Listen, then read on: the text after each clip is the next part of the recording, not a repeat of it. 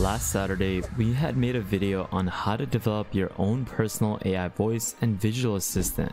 Many of y'all were interested with this and wanted to see how you can actually add voice to your AI chatbot. And this is something that I'll be showcasing throughout today's video, where I'll showcase how you can create an AI chatbot with voice.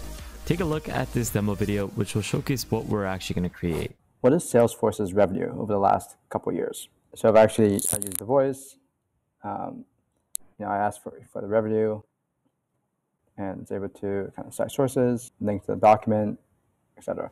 Well, you may be wondering, how are we going to do this? Well, this is with a platform that we've seen multiple times and you can already see on the screen called VectorShift. VectorShift is a no-code AI automation platform.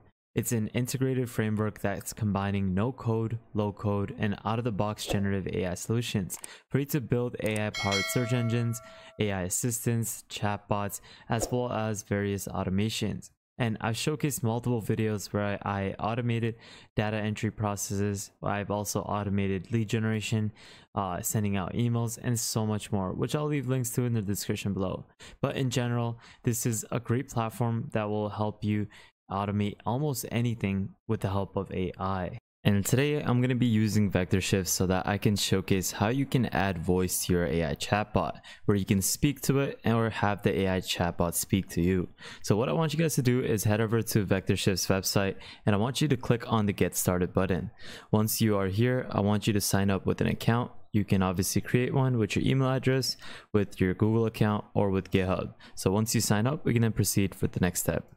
Once you create an account, you'll then be sent over to the main pipeline dashboard. This is where you're going to be able to manage all your automations, your chatbots, as well as your voice bots or even forums.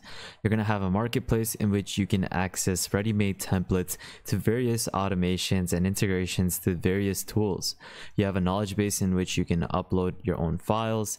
You have the ability to manage your automations, chatbots, forums, or even voice bots. And the great thing is with VectorShift, you're going to have the ability to to evaluate and access analytics to all of your ad automations or even chatbots.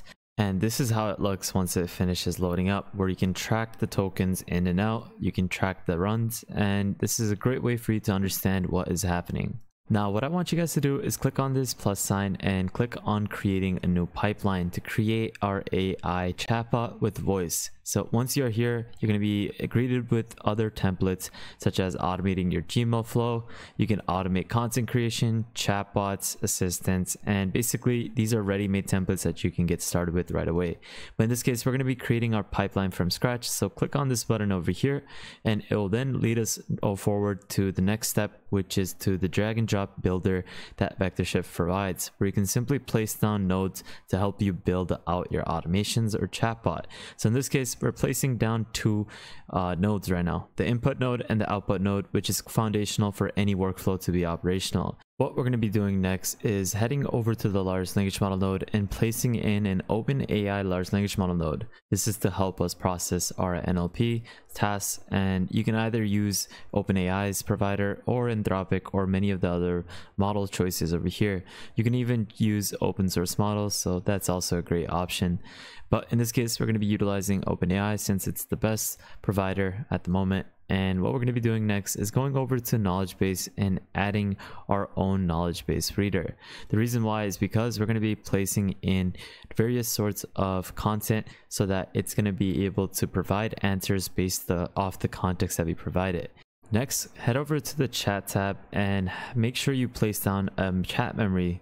And the reason why we're placing down this node is because it can reference prior context of conversation to help provide better answers in the future. You will also need to place down a chat file reader so that it's going to allow for you to upload documents in the chatbots to act as a source. We're going to start off by creating our knowledge base. So click on create new knowledge base and you can give this a name. So in this case, I'm just going to name it AI voice chatbot. You can configure the chunk size, but it's not recommended that you do this. Just keep it as the default. For the processing model, you have two different options. You have LlamaParse or Textract. These are two great options. Now, in terms of the embedding model, you can leave it as the default, but you also have the ability to choose between Cohere's embedding models as well as various OpenAI text embedding models.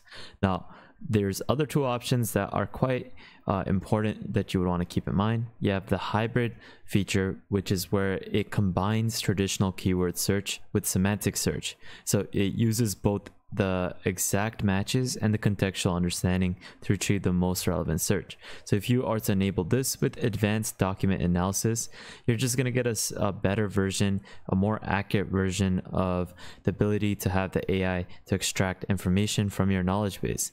Because this is another option for you to have better techniques to extract, interpret, and analyze information from your document sources. So it's recommended that you keep these two on. You can choose the default uh, processing model or you can use Textract. Both are great. And then you can just simply click create. Now, what I'm going to be doing is I'm going to be feeding this uh, research paper, or not research paper, but a financial statement for Salesforce. And this is a pretty lengthy document with a lot of numbers and it's about 200 uh, pages. So I'm going to feed this by uploading the document, but the great thing with VectorShift is that you have the ability to connect various applications to input your knowledge base. You have the ability to connect all of these different integrations within VectorShift, which is great. You also have the ability to uh, add uh, URLs, have it so that it can scrape a URL or even upload a full on folder. And after you have created your knowledge base node, you can then go back into the pipeline and then you can configure the knowledge base reader even further where you can configure the chunks to add better retrieval units, such as showing intermediate steps or expanding the query. These are all options that you can tweak and configure based off your own presets. Now, if you do go over to the OpenAI Large Language Model node, you can do the exact same thing where you can stream the response. You can have it so that it can also show the sources. So this is a great way for you to configure the backend of the nodes as well. But now that we have everything ready, let's now give the OpenAI large language model node a system prompt and let's connect everything together. To save some time, I have given it a system prompt where I told it to answer the questions based on the context. And I went along and I gave prompt to connect all of these different nodes together. To do so, you can then simply click on this prompt tab over here, click enter, and you can simply click on insert variable. In this case now, what we're going to do is connect all of these separate nodes that we have. The input will be connected to the question, the knowledge base will be connected to the context, the file will be connected to the chat file reader, and then the history will be connected to the chat memory. And now what we can do is we can have the response outputted to the output node. And we basically have our functional AI voice chatbot flow created. What you can do next is just simply click on deploy changes and you can actually export this. But say if you want to test this out, you can run a pipeline and see if the answers are correct or see if the flow is operational.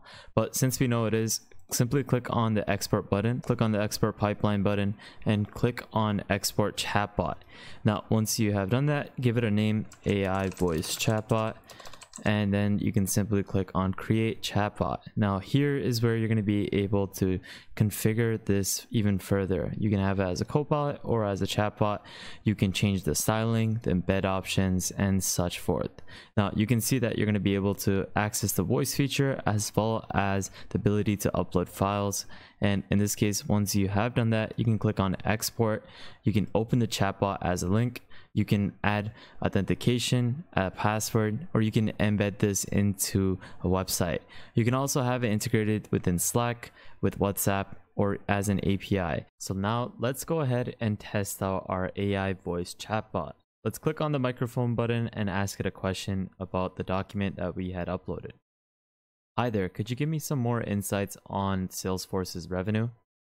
Click on the send button and within a couple of seconds, we will have it generate a response for us. And there you go. Salesforce's total revenue for the three months ended April 30th, 2024 for 9.133 billion. And it will also provide us uh, sources and related questions. And there you go. You can even have it so that this response could be outputted as an audio. So in this case, you can simply chat or have it so that this is an AI voice assistant, which is what something we did in last video. But this is basically how you can create an AI chatbot with voice and this way you can have it so that you can chat with your chatbot by just simply recording your inputs and it can output text or it can even output voice as well. But that's basically it for today's video guys. I hope you enjoyed it and you got some sort of value out of it. VectorShift is a great platform and I truly recommend it because this is definitely something that I've made multiple videos on. It's something that has a lot of benefits attributed to it, and I highly recommend that you take a look at this. I'll leave all the links in the description below. Make sure you follow me on the Patreon so that you can access our private Discord as well as free subscriptions to AI tools. Make sure you follow me on Twitter, a great way for you to stay up to date with the latest AI news. And lastly, subscribe, turn on the notification bell, like this video, and check out our previous videos so you can stay up to date with whatever is happening in the world of AI.